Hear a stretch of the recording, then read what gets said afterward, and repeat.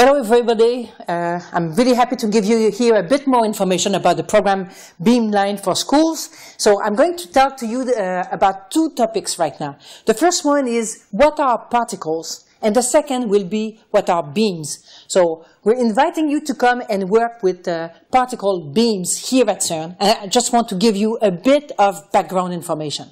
My name is Pauline Gagnon and I'm a physicist here on the ATLAS experiment at CERN. So we're going to talk about uh, particles because at CERN, CERN is this uh, European laboratory for particle physics and it's located near Geneva in Switzerland. So there are 12,000 scientists working here coming from 99 different nationalities. It's financed by European countries, but there are many other countries participating in the research. For example, Canada, United States, Pakistan, India, lots of uh, countries in fact. All these people have one common goal, and it's to find out what matter is made of. If I was to ask you this question when we are visiting uh, Legoland in uh, Copenhagen, you know Lego blocks, they were invented in Denmark. So in Denmark they have a museum for Lego blocks, which is called Legoland. And at Legoland, here is the version of the Copenhagen old uh, harbor. And everything is made of Lego blocks. And there, if I was to ask you, what are the smallest particles, what are the smallest grains of matter, then it's really easy. When nobody is watching, I grab one of the exhibit, I smash it, and I will see all the smallest particles that exist. So there it would be really easy to answer the question, what are the smallest building blocks of matter? So we see them. But when you look at matter, we know now that when we look at any type of matter, we know that there are in fact atoms inside there. And inside the atoms, we have the electrons that are sp uh, spinning around a hard nucleus in the center. Within the nucleus, you will find protons and neutrons, but within the neutrons and proto protons, we also find quarks. So if I ask you here, what are the smallest grains of matter that exist, in fact, the only ones that you cannot break any further are electrons and quarks. So those are the only fundamental particles uh, that we have on this picture. And in fact, you can build everything else from those particles. Let's look at protons and neutrons, for example. They're made of quarks. We have up quarks that have a charge of plus two-thirds, and we have down quarks that have a charge of minus one-third. And if I take two up quarks and one down quark, I can get a proton. The up quarks have charge, uh, a charge of plus two-thirds, so I have two of them, plus I have a down quark with minus one-third, so I get in total a, a charge of plus one. Same thing with the neutron, I can build it up with two down quark and one up quark. And this time their charges added up to zero. So we have a neutral particle here. So you can see I can build protons and neutrons all with quarks. And then if I add, if I just combine protons and neutrons in various uh, numbers with the necessary number of uh, electrons, I can build every single atom that you find in the periodic table. So you can produce every chemical element that exists. So all matter is made of quarks and electrons. But in fact, all matter is made of particles, but there are more particles in nature than what I just said. In fact, there are two large families of particles, which we call the leptons and the quarks. In the lepton family, you find the electron, which I already uh, mentioned, and there's also the muon, which is about two, like an electron, but 200 times heavier. Tau particles are also similar, but they're about 4,000 times heavier than an electron. Each one of them comes with a neutrino, and neutrinos are pretty sneaky. You know, you, they, they cross uh, the Earth, for example, and they're not stopped. And that's why here, in this is the representation of all the particles as you find them in the particle zoo. You can go on the web and find uh, about these particles. And that's how she, she uh, the woman who created them, put them with little mass, because they're really little uh, sneaky particles. So those are the leptons. And we have quarks. We have the up and down quarks that I just talked about. There are also the charm and strange quarks, which are heavier, and top and bottom quarks. All those particles existed in nature right after the Big Bang, but nowadays we only find them in particle accelerators. So the muons we can still find in nature, sometimes in cosmic rays. But in fact, to create all ordinary matter, all that we need is electrons, neutrinos, up and down quarks. So we can make all the ordinary matter with this. The other particles, we can still create them in the, um, our accelerators, but we don't find them much in nature now. All these particles also interact with each other through various forces. And there are five fundamental forces in nature. And those forces are, uh, for example, the strong interaction, which is mediated by the gluons. Each force has a, a boson, a particle that we call a boson that is associated with it. And all the grains of matter that we have here, they interact with each other by exchanging different particles. So they can within, within the protons and neutrons to keep the quarks glued together, we have the gluons. So that's the one that mediate the strong interaction. You have photons that are associated with the electromagnetic uh, force. W and Z bosons are uh, associated with the weak interaction, which is responsible for radioactivity. Graviton we have not found, but we think it might be there, and it would be associated with gravitational force. And the Higgs boson was just found, and that's associated with a special field, which is called the Brout, Englert, and Higgs field, and that gives mass to all the other particles. So that's what we have. And in, in nature, in fact, we find lots of particles that are made of quarks. So I showed you protons and neutrons, but at CERN we also work with various particles like pions. Pions are particles that are made of one up quark and one anti-down quark.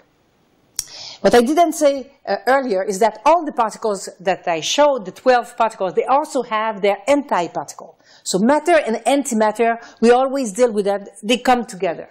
So for a pion, you mix one quark of matter and an anti-quark of antimatter.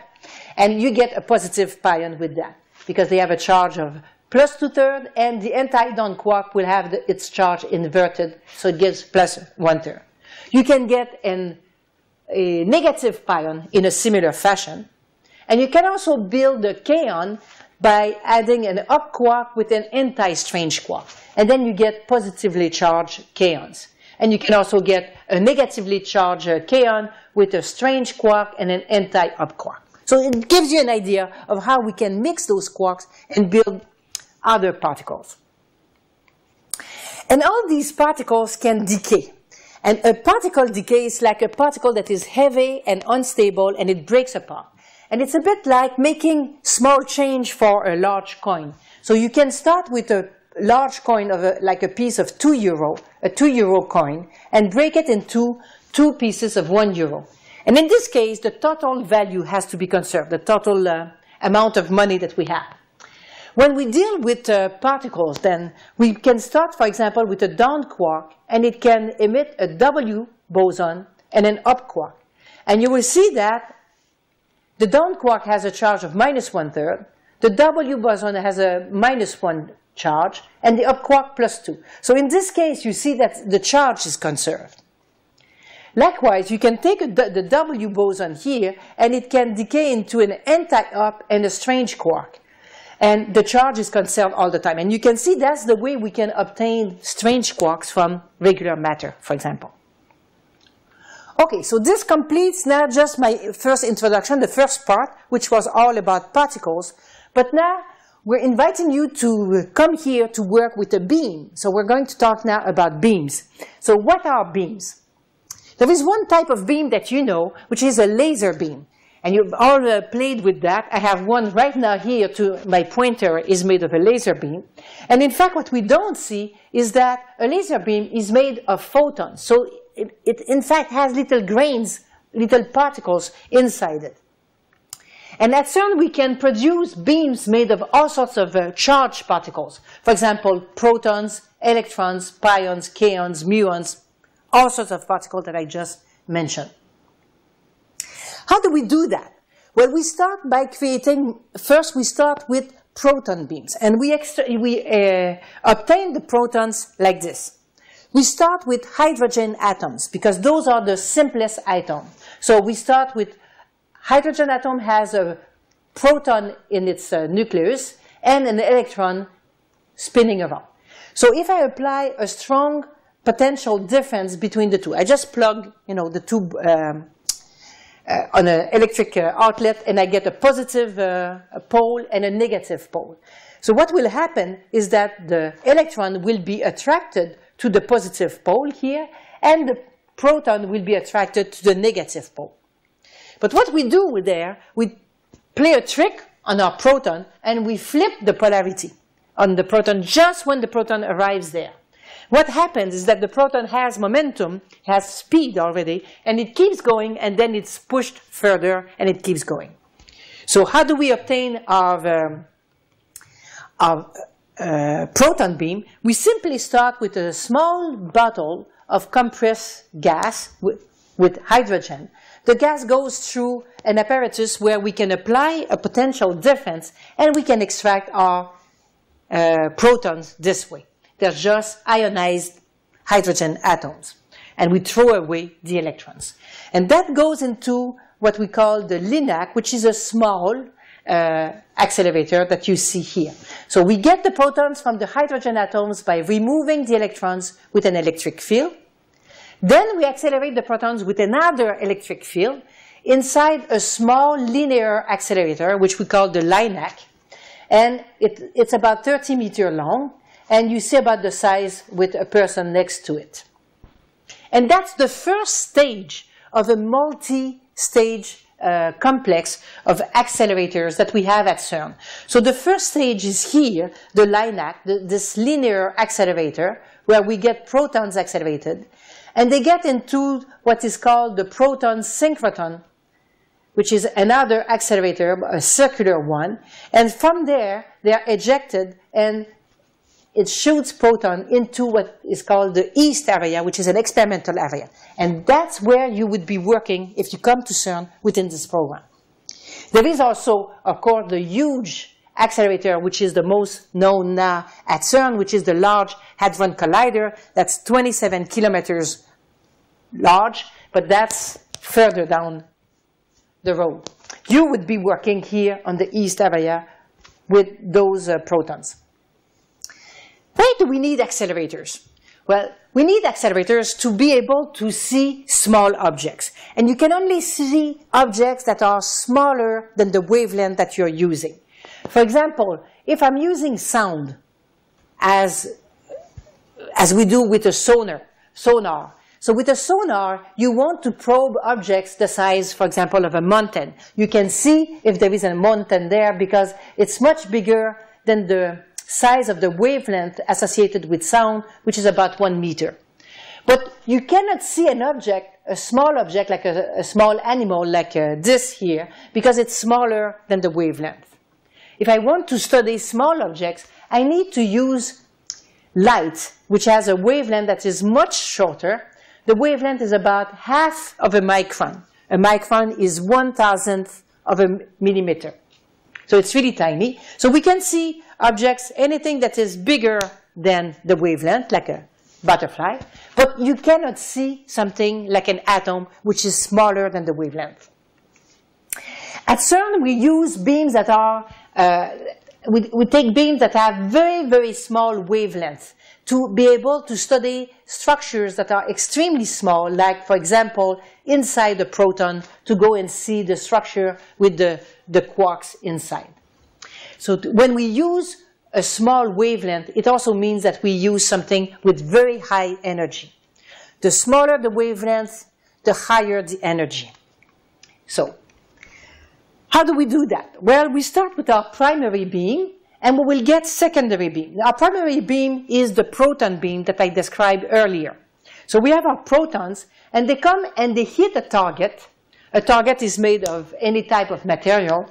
And from there, from the interaction between the protons of the primary beam and the material of the target, you will see an array of uh, particles coming out. You will see protons, pions, kaons, electrons, all sorts of particles coming out. But then you can use magnets to select which type of particle you want.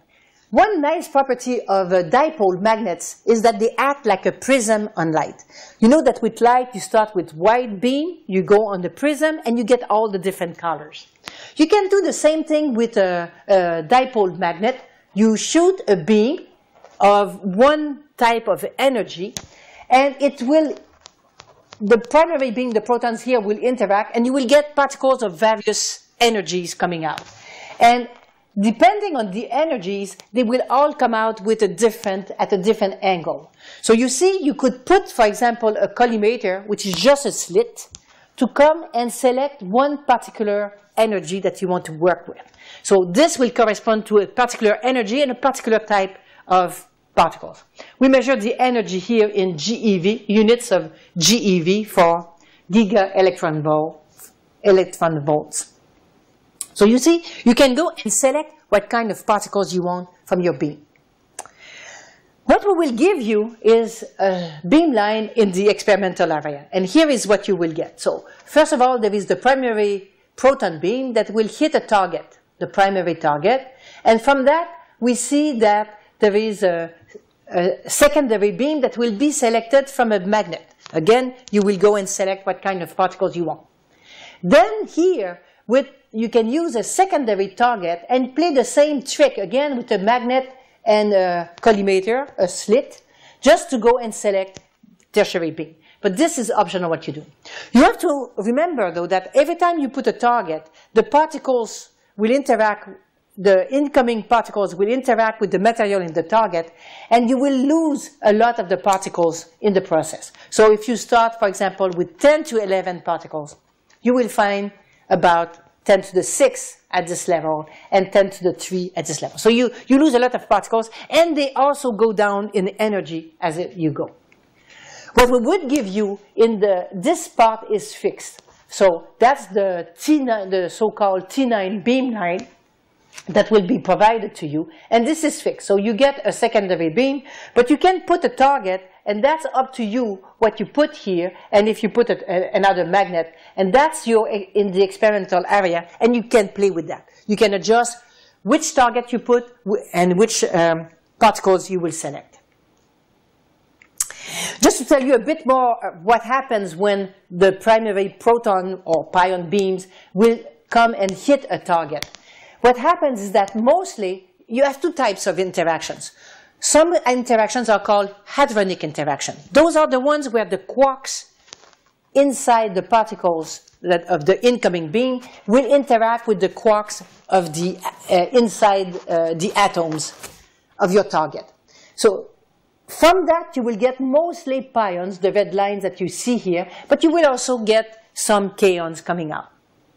There's a second type of interactions that we get. Those are called electromagnetic uh, showers, and that's when the electric charges of the incoming particle interact with the electric charges of uh, the particles inside the atoms. And from that, you will get electrons, positrons, and photons. As you can see here, the electrons coming out, or photons can also come out from a neutral pion decay. Okay. So an, here is an example on how you can select the type of particles you get in your secondary or tertiary beam, uh, depending on the incoming particles, of course. If you put a target of beryllium, if you put 40 centimeters of beryllium, you will produce both pions and electrons. If you put copper, you would get only pions because all the electrons, that's a property of copper, it would absorb all the electrons. And if you use tungsten instead, you can produce many electrons, but all the pions will be absorbed. But the electrons here will have low energy. So depending what you want to do, you can play with the nature of the target and its thickness. What tools will you have to play with, to work with? You will have different tools that will allow you to identify charged particles, but also to detect their passage. So you can see if a charged particle passed, and you'll also be able to track them. That is, find out exactly where they passed. And you will be able to measure the energy of all the outgoing particles, charged or neutral particles. You'll get all the details on this document here. And uh, let me now give you, uh, to end, an example of uh, what can be done with a beam. So one technique that is uh, being studied at CERN now is called hadron therapy. And that's a new technique to fight cancer. So a way to kill cancer cells. And on the plot that I'm showing here, here is the uh, relative dose deposited in percentage, and here is the penetration uh, depth in millimeters in human tissue. So what we do, now the, the classic way to zap cancer cell is to do radiotherapy. And that's done with X-rays. X-rays are just photons of high energy. If you do that, you see the X-rays will deposit most of their energy close to the entrance point, and then less and less as they go in. Electrons would deposit all of their energy at the entrance and then very little. So it means that with X-rays, you can zap efficiently cancer cells that are really close, but less if they're further inside the body. Whereas if you use protons or carbon, you see that it's quite different. It deposits very little energy, and all of a sudden, whoops, it creates a huge peak of energy. All its energy of those particles are, all the energy is deposited at one specific depth, which you can tune depending on the energy of the incoming particle. So it has a big, big advantage is that it's way more efficient at zapping the cancer cell, and it has the benefit of not burning the healthy tissue, which is ahead of the cancer cell. So it's a much better technique. And this is getting uh, uh, used now. So this is the kind of thing that we can study, for example, to see if effectively you can find this peak, and you could simulate a, a human tissue by putting simply water, because most of human tissue is water, and so that would do the trick. Okay, would you like to try this? Well, if you, if you do, then you would win a free trip to CERN for nine students and two teachers with all the expenses uh, covered while you stay here. And you need for that, all you need to do is to tell us at this point that you're interested. And to do that, you send us an email, uh, a tweet of intent, where you just uh, tell us that you're interested in um, doing this exp uh, an experiment, and you give us the name of your school, your, your names, and your teacher's name, and that's it. And then you have two more months to, to cook up your experiment and to figure out all the details. And all the details about this uh, competition are given here. What will you be on? First of all, the goals of this exercise is simply for you to have fun. We want you also to learn about beams and how they interact with matter and give you the opportunity to work in the largest particle uh, physics lab in the world. The selection criteria are quite simple. We will uh, we will simply uh, judge you on your creativity and if it's a, a feasible uh, project. If it's something completely far-fetched, not real, that you cannot uh, do, then of course it won't be uh, selected. So it has to be creative and you have to show your motivation. And you must demonstrate as well that you're able to apply the scientific method, the one from Galileo, uh, that says that you, you postulate and um, you make a hypothesis, you design a way to test this hypothesis, and then you show that you can analyze the data. So this is what, what we will be uh, uh, judging you on, and I hope that you uh, are interested and that many of you will apply, and uh, I tell you, it's great fun to work here at CERN. I hope to see you this, this summer. The project will be done in the summer.